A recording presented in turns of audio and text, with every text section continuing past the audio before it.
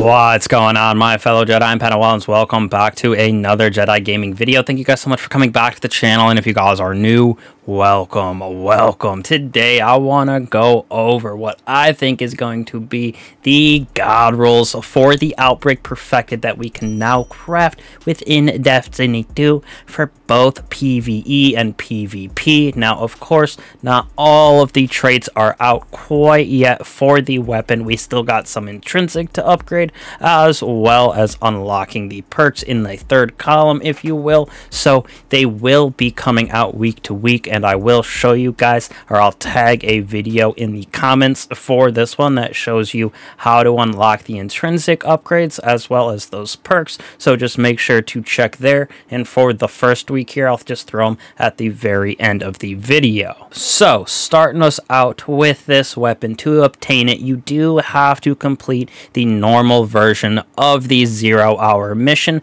after you go talk to Ada 1 to get your beginning quest. Once you complete that mission, you will get the schematic for the weapon and head back to Ada where she will give you the red border version of the outbreak where you can just use that red border to turn into a craftable version. So it is a pretty easy way to go through it. If you need a guide to go through the zero hour on normal, go ahead up in the left corner. There will be a link to my last video or one of my past videos showing the guide to this video. So it is not a bad little activity if you've gone through it before. Even if you haven't, it is definitely harder than the Whisper mission, but not terribly difficult on the normal version because you do have over 40 minutes to complete it. Now, once you obtain the weapon, you are able to craft this bad boy. And like I said, week to week, we're going to be able to upgrade both its intrinsic trait with the corruption spreads. This is the weapon creates Siva nanite swarms on rapid hits or precision kills. So this is what helps to spread those nanites around. This is from a vault puzzle that we will get. There's going to be three different puzzles throughout the mission week to week. So next week we'll get the second version and then the week after we'll get the last version. So this upgrades all the way to number four. So when we cover God rolls, I usually go over the origin trait first. So uh, with this exotic, I'm going to cover its catalyst. So disease vector, increase the nanite damage. Enemies that die with nanites attached to them generate additional nanites. So because of that original trait or the intrinsic trait with the corruption spreads on those rapid hits or precision defeats, we're going to be able to create even more nanites. And then the more nanites that we have, the higher the increase of damage they will be. So it is a good little combination right there with the catalyst as well as that intrinsic trait. On top of that, combining those two together, we have that parasitism, so it does more damage based on the number of Siva nanites attached to them. So catalyst plus parasitism plus the intrinsic trait of the corruption spreads gives us some pretty crazy damage output, especially for a kinetic weapon where you don't gotta use ammo since we have infinite primary ammo. This weapon is definitely a very good way in some of that endgame content to get damage on a last stand if you are out of ammo in all of your other weapons. And with the addition of the perks that we're going to be able to get in that third column, this thing is going to be absolutely disgusting in my opinion in PvE. And then it does feel pretty crispy inside of the Crucible even now with some better perks coming as well in the coming weeks. So to start us off for the PvP side of things, totally up to you. We got two options here for our barrels. The first one is small bore, gains us plus 7 7 in stability plus 7 in range. So we're able to have a pretty even range and stability on this with 61 and 57.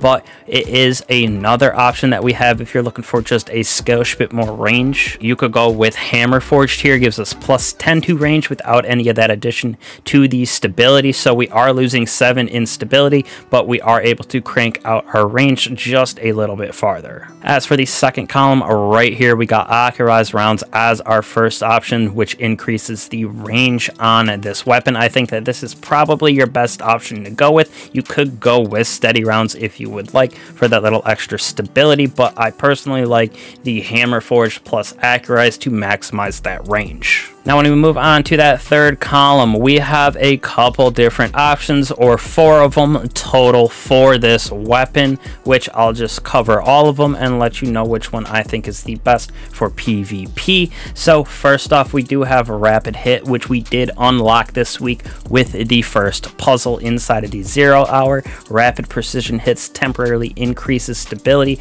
as well as reload speed, so this does feel very good in both PvE as well as PvP PvP, this would be my second option within the PvP realm. Next off, we have Outlaw, which originally came on the weapon. Precision kills greatly increases reload speed, so it is a little bit of a difference from Rapid Hit, where you need the actual defeats to proc Outlaw, but it is a classic perk. Definitely works very well on this weapon, but I like Rapid way better. Next off on the list, I think this is going to be the goaded perk in PvE. We got Rewind Which comes out next week after that next puzzle, but when the magazine is empty, it refills on the reserves based on the number of hits, so this is going to be absolutely nasty inside of PvE. I would put this definitely last inside of the Crucible. Now, our last perk, which is definitely what should come on our PvP weapon of the Outbreak Perfected, is Head Seeker. Body shots landed with this weapon increase precision, damage, and aim assist for a short time. Body shots landed while the perk is active refreshes the timer. So in Crucible, this is a pretty big staple on a, a lot, if not all, pulse rifles in Crucible, at least in my opinion. Definitely one of the S tier perks for the Crucible on things like a pulse rifle. So I would definitely, in the coming weeks, once we get it, not next week, but the week after, we will be able to do that third puzzle to unlock Head Seeker. And I would definitely throw it on your weapon for the PvP side of things because this is going to absolutely destroy destroy Guardians, especially in sixes with the nanites. Now, we do have four options for stocks, but I personally think that your original one on here, the fitted stock, is the best for both of the Crucible as well as PvE. That fitted stock gives us increased stability, control in the recoil, as well as a little decrease in handling, which in my opinion isn't that big of a deal for at least the PvE realm. Maybe in PvP you do want to switch it up, so the other option you could go with for PvP might be hand laid stock, gives you an increase in stability, but with our other perks, stability really doesn't change, so we're only getting plus 5 in handling with recoil direction going from 100 to 80, so not my favorite, and all of the other stocks also change that stability going down actually a little bit to 40 or 45 with the recoil all being at 80 for the other stocks. So that is why I personally like fitted for this weapon for Crucible as well as PvE. Now when we move on to the PvE side of things with this thing is absolutely going to slap and it always has so it is getting even better in my opinion. First off I am gonna go with small bore here inside of this column gives us the best jack of all trades or even stats, if you will, for everything on this build. 61 in that range, 60 in stability, so it does feel